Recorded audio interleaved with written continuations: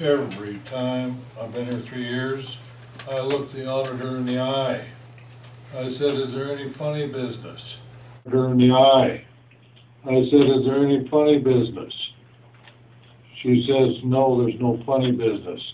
I can tell if there's funny business. Mel, did you read your last audit?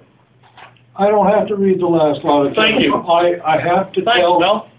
You're welcome. I don't have to read it because I trust the people that are doing the audit. Okay, well, thanks. You're welcome.